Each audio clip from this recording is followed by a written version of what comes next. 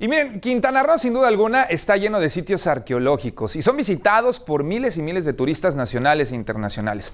Uno de ellos es Chachoven. Vean de qué se trata. Chachoven es un sitio arqueológico ubicado en el sur de Quintana Roo y no se tienen evidencias que permitan conocer el nombre que tuvo el sitio de la época prehispánica, por lo cual se retomó el nombre del ejido donde se ubica y que puede traducirse del maya como lugar del maíz, Colorado. En en donde están los gemelos hay diferentes escalones. De acuerdo a los escalones era por donde subía la, persona dependiendo de su clase social. Entonces al momento de subir nos encontramos del lado de, con el templo de las vasijas que ese templo ahí se encontraron seis vasijas de, barro, ¿sí? y atrás de ese, templo está lo que es un techo de guano y ahí en ese, techo está protegiendo a lo que es la pintura original que utilizaron los mayas, que es el estuco.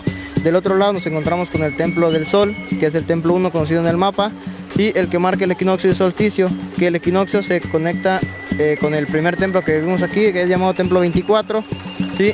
entonces eh, sucede 21 de marzo y 21 de septiembre, que son esas dos fechas, representa sequía.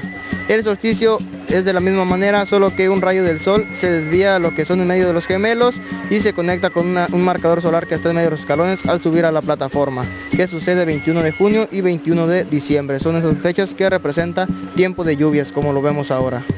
Este asentamiento es el de mayor importancia de la región de los lagos y se inició en los años 250 después de Cristo, con pequeños caseríos alrededor de los cuerpos permanentes de agua dulce.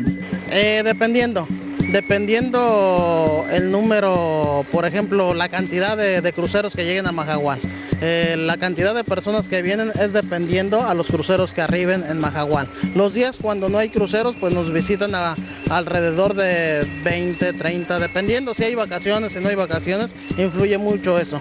Eh, también cuando hay barco, dependiendo del tipo de barco, es el número de personas que recibimos aquí en el arqueológico. Aquí los mayas desarrollaron el estilo arquitectónico que lo caracteriza con rasgos de los estilos del río Bec y región de los Chenes. Únicamente se encontraron dos estelas con inscripción jeroglíficas.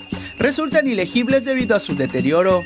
Este lugar recibe la visita de 30 cruceros de turistas internacionales en un mes. En las imágenes Jorge Luna, Jair Negrete, Noticieros Televisa.